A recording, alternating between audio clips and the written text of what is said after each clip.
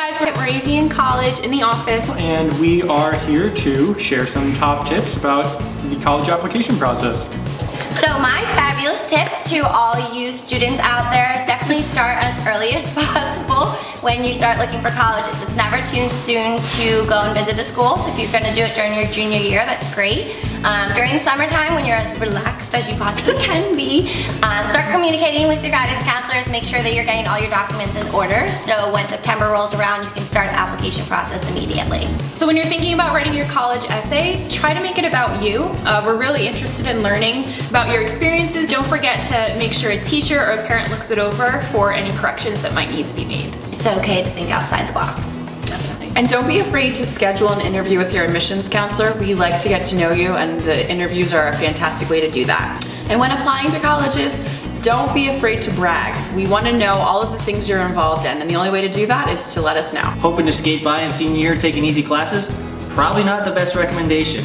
A lot of guidance counselors and college counselors are looking at your transcripts to see what type of classes you're taking and they definitely look positively upon taking hard classes senior year. My tip, don't forget to visit all the schools you're considering and especially the schools you're applying to. Visit a school you love more than once. Uh, at Moravian College, you could always customize your visit. You could sit in on a class, meet with a professor, so make sure you take advantage of those things. If you can't make it to campus, see our virtual tour located on our website. Yeah. Worried about the cost of college?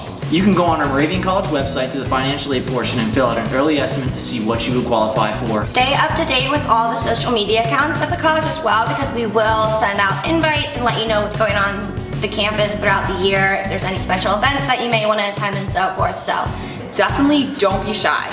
Contact us, email us, call us, visit us. parents, don't be shy either. We like to communicate with you as well. We know that you may have a couple different other questions than your kids may have, so feel free to give us a call or email us at any time during the year.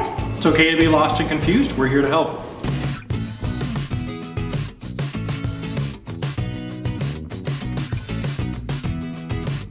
Hey guys, we're back from our fall. I was gonna say that too. I was also gonna say that. Allison always tells us that you should be visiting I our do, or, or like Allison's tip. These are gonna be great. Peter's hot tip of 2015. 2016. you can go on our website at moraviancollege.com. No. I knew that was going south. You missed on my words, man. Oh man. That's like, no. Oh man.